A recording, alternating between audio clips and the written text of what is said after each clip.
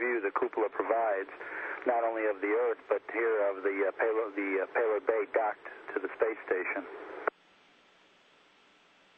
You know, the, the uh, ATA, we had some trouble with one of the bolts today, and the, uh, we know that the engineers designed these uh, these uh, devices to with very tight tolerances, and things just changed a little in space, and we realized that, and uh, so we had a little bit of trouble getting one of the bolts to tighten up, but uh, ground helped us out, and they did a great job uh, giving us some advice on releasing bolt three, and once we did that, everything seemed to go real smoothly. As Jim, uh, Jim mentioned earlier, uh, Clay did a nice job holding the tank steady for us as we were backing the arm uh, off. Again, it's a nice uh, testament to the hard work of our EVA and robotics teams and trainers uh, and mission designers for the great choreography that uh, all of that uh, work provided.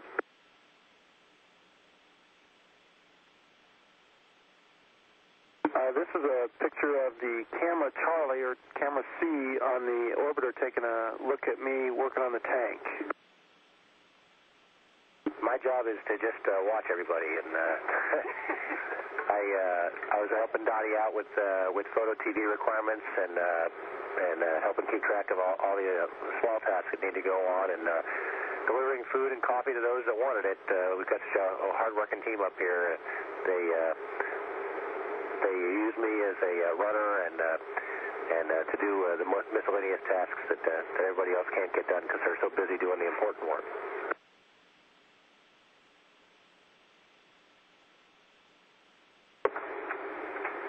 Today is a very good, great day for STS-131. We accomplished three EVAs, and also for the transfer, uh, we made the MPLM almost for the return configuration.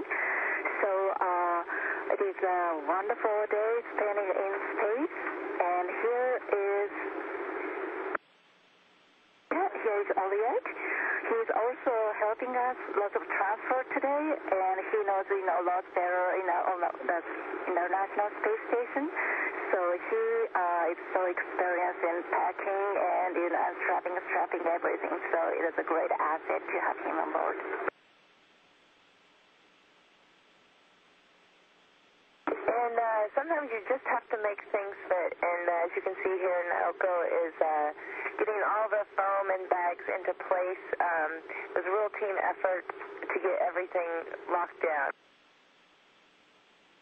And there she is being Superwoman with Stephanie. Sometimes the cameraman just needs to watch out. But you can see uh, floating in space is a lot of fun, and if you make your work fun, then it has it's no problem to do it. And I think that all of us could say, no matter uh, how tedious tying foam down may be, uh, it's really fun because you're floating.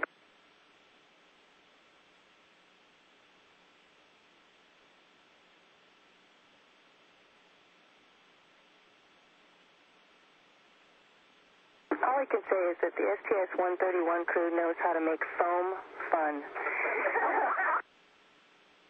and there's Sweetie, who agrees wholeheartedly. He's taking a few lights from the MPLM so that we can have them on board here on the station uh, for those uh, rare occasions when the light goes out, just like our video.